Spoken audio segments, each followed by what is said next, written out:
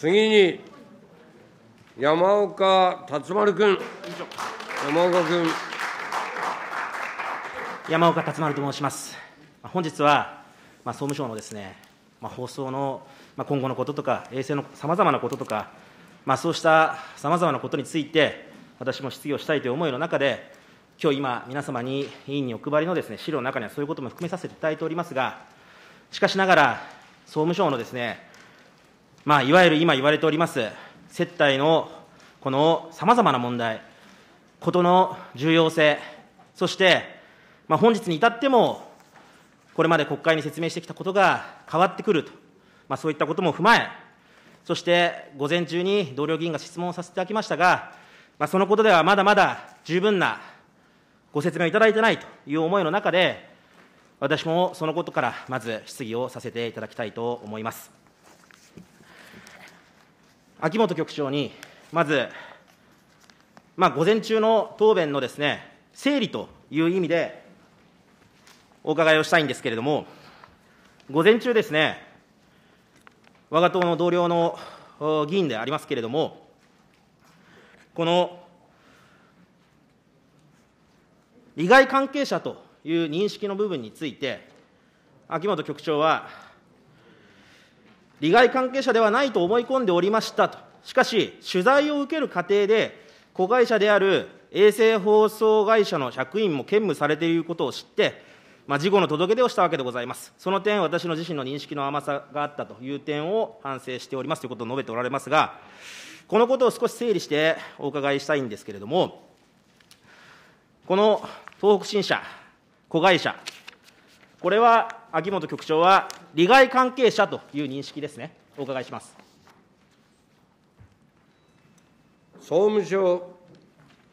情報流通行政局長、秋元義則君。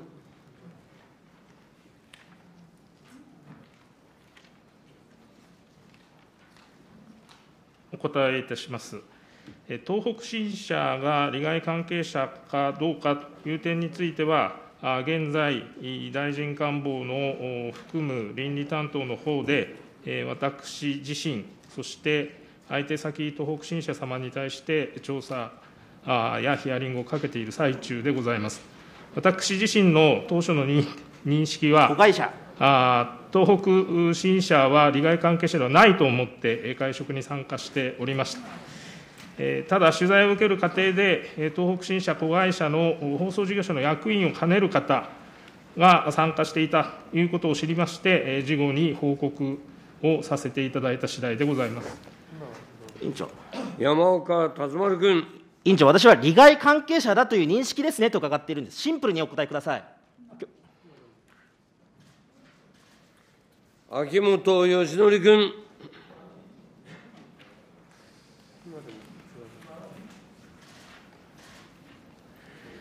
利害関係者か否かを判定するのは、任命権者たる総務大臣が国家公務員倫理審査会にを図られつつ、今後決めていかれるもの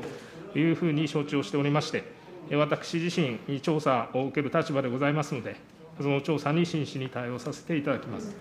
委員長。山岡達丸君。総務省は総務省で調査されると思うんですよ。私は国会の質疑者としてお伺いしているんです。そして秋元局長の今の認識をお伺いしているんです。この東北新社、その子会社、利害関係者という認識ですね、お伺いします。総務省、秋元義則君。今の認識をお答えください。調査を受ける立場でございまして、私自身の認識を申し述べるのは控えさせていただければと思っております。山岡今、委員長が今の認識をお伝え、話してくださいっておっしゃったじゃないですか。その議事に従ってコメントしてください。お願いします、委員長。秋元義則君。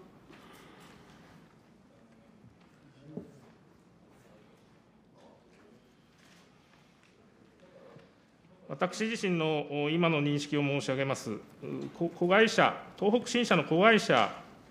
であって、認定を受けて衛星基幹放送事業者を営んでおられる各社は利害関係者と認識をしております。東北新社はその株主でございまして、利害関係者には当たらないのではないかという当初の認識をまだ持っております。いやいや、山岡達丸君。今の東北新社、子会社の会社、子会社は利害関係者ですかということを伺っております。東北新社本体のことではありません。子会社のことを伺っております。子会社の役員を兼ねている方々なんです。お答えください。秋元義則君。失礼しました。あ子会社であって、えー認定を受けて、えー衛星基幹放送事業をお実施している会社は、利害関係者であるというふうに認識をしております。山岡達丸君。委員長の議事の中でお答えをいただきましてありがとうございます。では続いて伺いますが、この子会社の役員を兼ねておられる菅聖子氏菅聖吾氏、そして木田氏、このお二人も今のご認識として、秋山局長にとって利害関係者ですね、お伺いします。総務省、秋元義則君。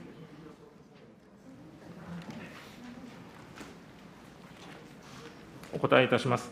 子会社であるう衛星基幹放送事業者の役員を兼任しておられますので、利害関係者であると認識しております。委員長はいうん山岡達丸君。まあ、利害関係者の菅聖吾氏と木田氏に会って、まあ、どういう話をしていたのかと、なぜあったのか、この後また伺いますが、もう一つ、このあ午前中の答弁の整理でお伺いしたいと思います。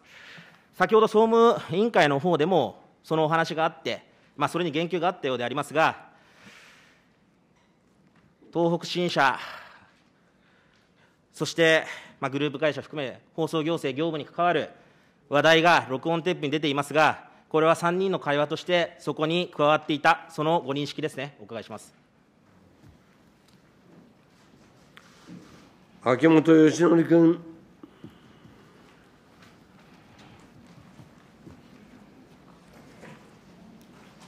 お答えいたします。えー3人の場での会話に参加しておりました。山岡達丸君。続いてお伺いしますが、まあ、秋元局長、井本審議官がご異動になられるということで、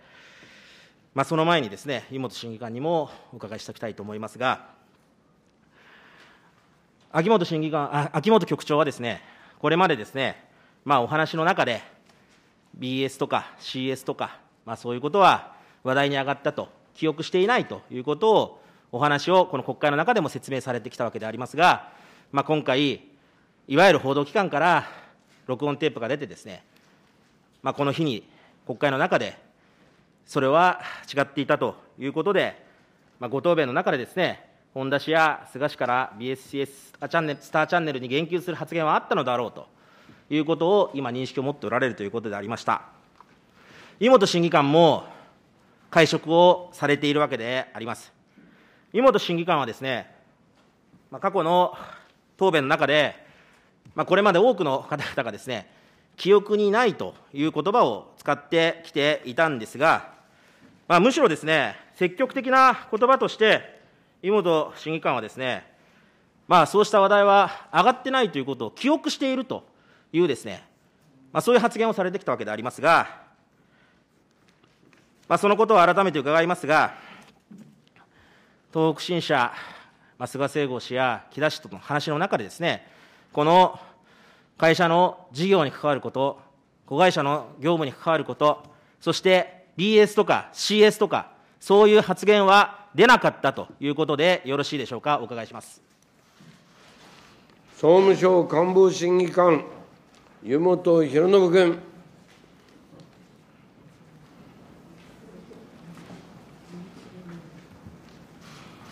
お答え申し上げます。えー以前申し上げたとおり、会食の中で、えー東北新社の子会社に関わる固有の事業、個別の事業に関することはなかったというふうに記憶しております。一方で、あの衛星放送一般だとか、放送一般ということになると、えー記憶確たる記憶は、えーございませんが、あの全くなかったと、そこはあのちょっと記憶にないとしかえー申し上げられません。委員長、山岡達丸君。記憶しておりますとご発言されてた方がですね、答弁を変えた上に記憶にないというお言葉を使い始めて、まあ、これまでのですね、総務省の調査も同じようなことを認識されていたと思うんですけれども、井本審議官におかれてもですね、極めてこのこれまでの国会答弁が疑いが持たれるようなご発言が今あったと思っております。そういうことはなかったという認識であったことがですね、今、まあ、一般論であるとか、個別ではない話とか、そういう話でということを、まあ、少しお言葉を付け加えられたように思いますが、加えて伺いますが、BS とか CS とか、そういう発言はあったんですか、なかったんですか、伺います。総務省湯本博信君。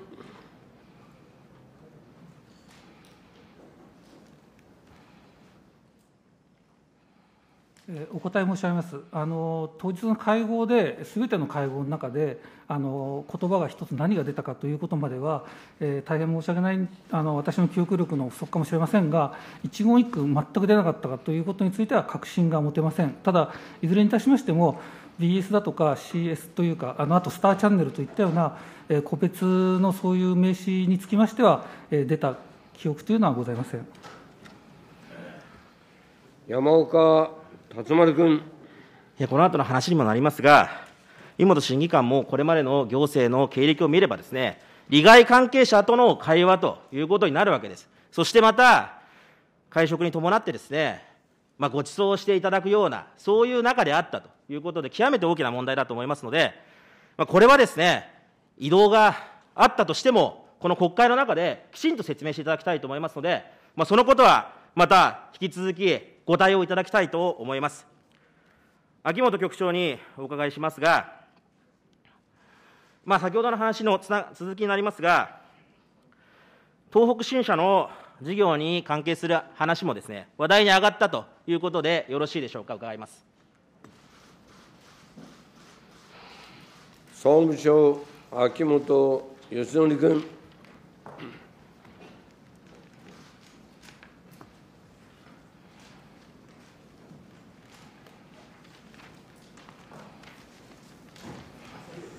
お答えいたします。私は、記事を拝見、拝読し、また音声データを確認させていただきまして、その限りで、話が、BS、CS、スターチャンネル等に関する言及があったのだなという認識でおります。他方、東北新社の事業そのものについて、話題に上った記憶はございません。山岡達丸君。いや、結局、秋元局長がお話しされているのは、事故になって、音声テープが出た部分だけあったかもしれないということを認めてるだけで、それ以外のことは、記憶がないままというお話、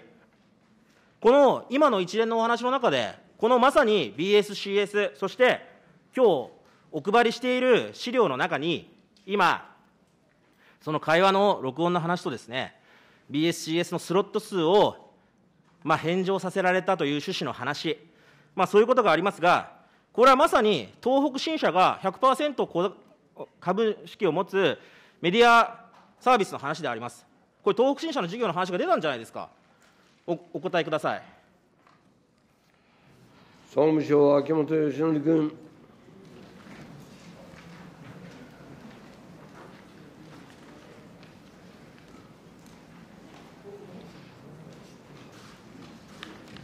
お答えいたします。東北本社の事業が出た記憶はございません。山岡達丸君。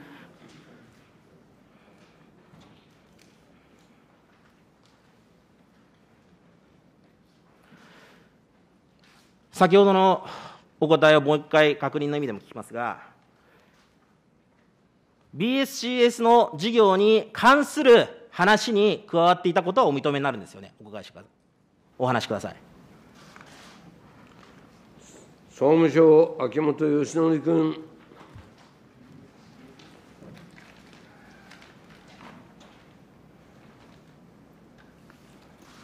お答えいたします。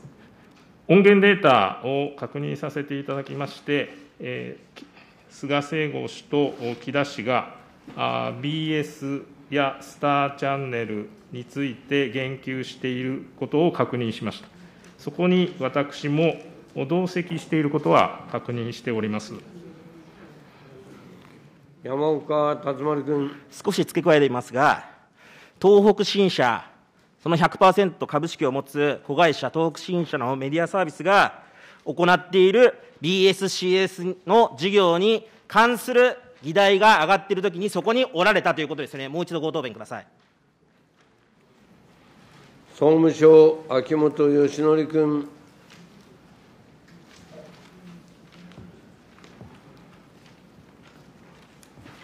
お答えいたします。お二人が BS に言及しているときに、その場に居合わせておりました。山岡達丸君。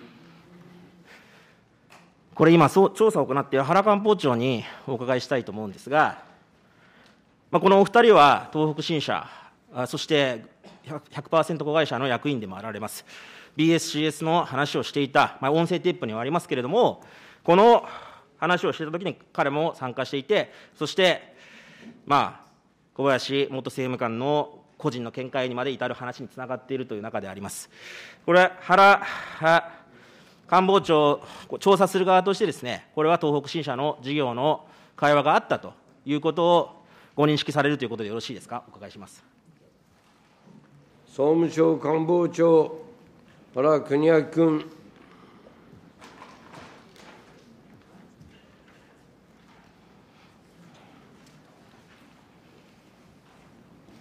お答えいたします。あの先ほど、お秋元局長、それから井本審議官のご発言、それから私ども、おすでに先方にも依頼してますが、東北新社の4名の方々、あ二宮氏、三上氏、えそれからあ木田氏、それから菅清吾氏、それからあこちら側の谷脇吉田、こういったことのヒアリングをしっかりと行いまして、えしっかりとできるだけ早く、えー明らかにしていきたいと、このように思ってございます。山岡達丸君。官房長のお立場で言えばですね、正確な情報が上がってきたのか来てないのか、あるいは私は郵政省の、元の郵政省の方とか、元自治省の方とか、まあ、そういう総務省の中のことは分かりませんが、しかし、私たちにとっては総務省からの説明を受けているんです。これまで調査をされて、散々時間がかかって、そして今、またここでしっかり調査をしていくということしか述べられない。じゃあ22日までの間に、次の集中審議の時までに、この一連の件、このことについても事実かどうか、そして、さまざま他の参加者の方もですね、事業の話があったのかどうか、このことをしっかり調べてお答えするということをお約束いただけませんか？総務省官房長、原邦明君。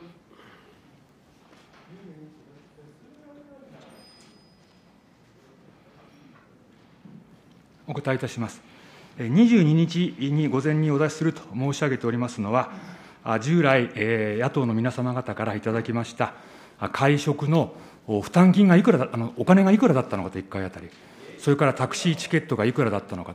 それからお土産代がいくらだったのか、それから一体誰が負担したのか、こういうところが、私どもこれまで、あのそのその都度その都度、その時点で明らかにできることを明らかにしてまいりましたが、そこのところはいろいろ領収書ですから、いろんな精査がいるということで、えーなかなかまだお出しできなかったところ、そういったところをしっかりとお出しするということでございます。それから、今回新たに出てきた問題、で私ども、そもそも、これ、倫理倫理規定違反の調査を行っておりました。それで、人事院の方からも、こういうことを調べなさいということで調べた中で、先ほどもご答弁しましたが、具体的にどんな話が出たんですかと、それから特別の利害関係になんか頼むようなことはなかったんですかと、こういうことをおおあのお伺いして、その中ではこれまで私がご答弁するような回答がなかしかなかったということでございます。で、今回は、今、いろいろ話題になっていることについては、やはりあの利害関係者といった認定には大きく関わる事項でございますので、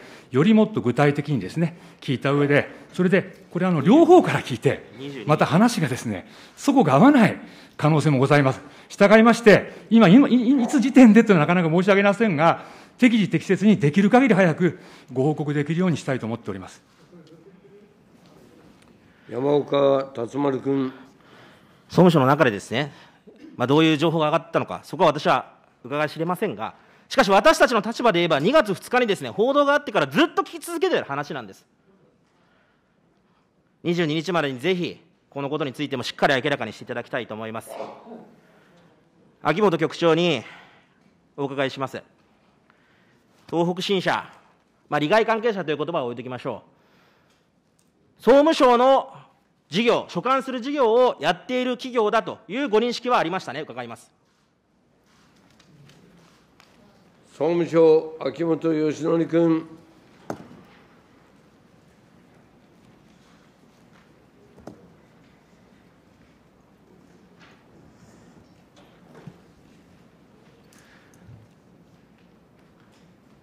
東北新社が総務省の所管する事業を手がけているという認識はありませんでした。子会社が放送事業を営んでおられるという認識でおりました。山岡達丸君。東北新社が総務省の事業をやる子会社の100%の株を持っている親会社という認識はありましたね。伺います。総務省、秋元義則君。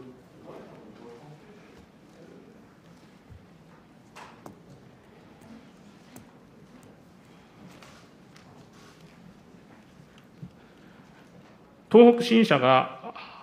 何社か子会社として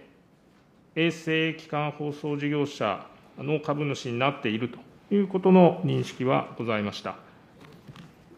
委員長。山岡達丸君。今日皆様に私お伺あのお渡ししたペーパーに、2017年1月に東北新社が、まあ、いわゆるですね 4K、8K の認定を総務省から放送法に基づいて取ったとこれは今皆様にお示ししているのでご覧いただきたいと思います。そして私はこのことを総務省に問いましたらですね、2017年9月には子会社を作って、東北新社メディアサービスを作りですね、そこが事業を承継したので、東北新社からメディアサービスの方にその事業は移っていると。でも、その会社っていうのは東北新社100%の子会社なんです。そして、局長に伺いますが、さまざまな BS 事業、CS 事業ありますが、それを更新するときに、各企業に、各事業者に、このまた更新の要項等を出されたり、新規の方にも出させたりとすると思うんですが、その時に、事業者側の申請項目に、一体、議決権がどういう配分になっていて、株主がどういうことになっているのか、そのことを問う中身はありますよね、お伺いします。総務省、秋元義則君。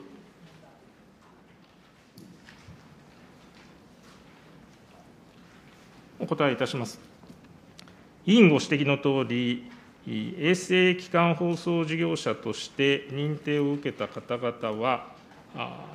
5年に一度、認定の効力あ、認定の更新を受けませんと、その効力を失うこととされております。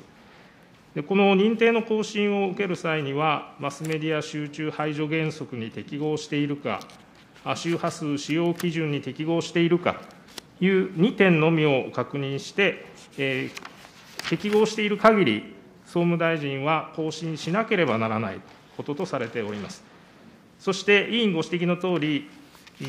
放送事業者をどれだけ一定の人が支配しすぎていないかどうかという点を、マスメディア集中排除原則におきまして、確認をしております。どなたが株主かという点は確認をしている次第でございます。ただ、それはあくまで認定放送事業者に対する規律でございまして、株主に対する規律ではございません。山岡達丸君。私が伺っているのは、総務省が業として、その放送局がどこが株を持っているのかを聞く立場にあるということを伺っているんです。外資規制で一定程度外国の資本が入っているところで弾かれるところもあるんです。その割合は極めて重要な情報なんですよ。そのことをですね、親会社は今放送事業やってない、100%子会社が放送事業やっていても認識していなかったなんてことがありえますか？局長お答えください。秋元義則君。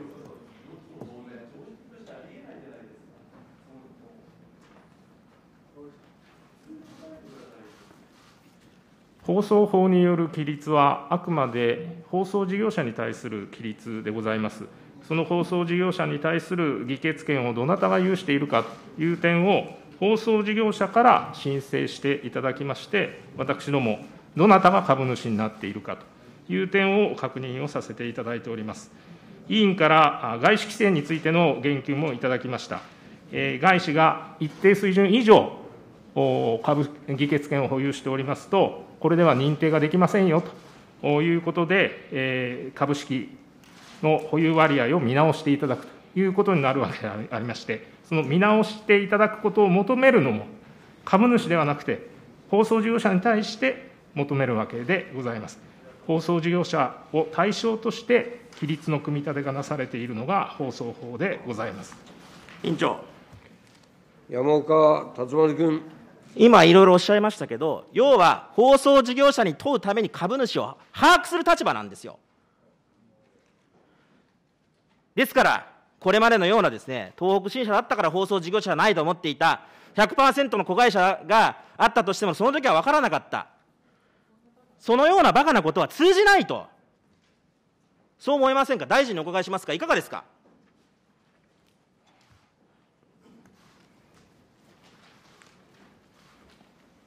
総務大臣。あ、ごめんなさい、すみません。武田良太あの、局長が述べた通りだと思っております。山岡達丸君。これね、皆様にお配りした資料に、申請者受付概要っていうのがあるんですよ。で、そこに株主の比率書いてあるんですよ。これは私は何のことはない、総務省が公表している資料を持って、この参考資料に皆様にお配りしております。概要にだって株式の割合載せるんですよ。それぐらい重要な情報だということです。大臣、今の局長の答弁をそのまま自分のご自身の答弁とされるのはあまりにも、これは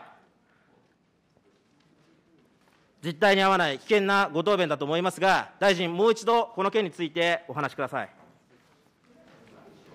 総務大臣、平良太君。えー、関係法令にのっとって適切に処理していると考えております。委員長はい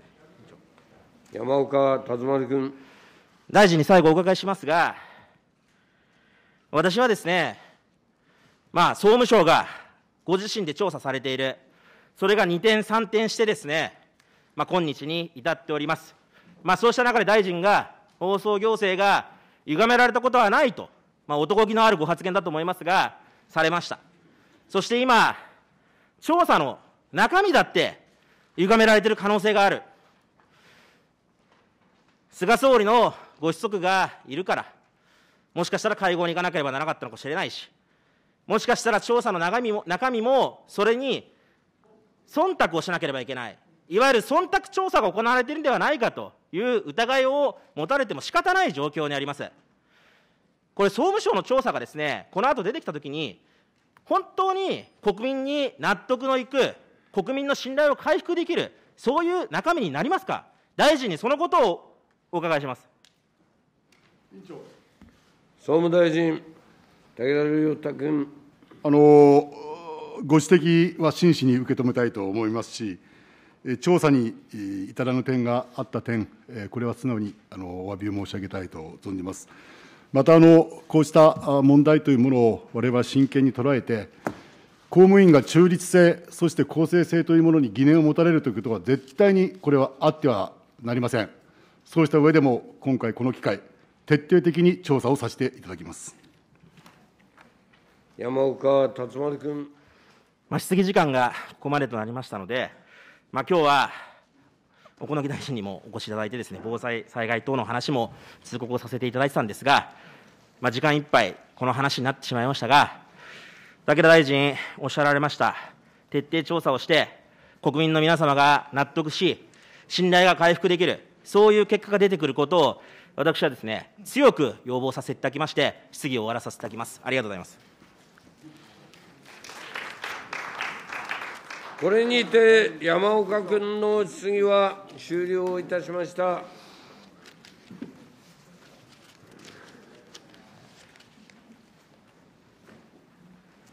次に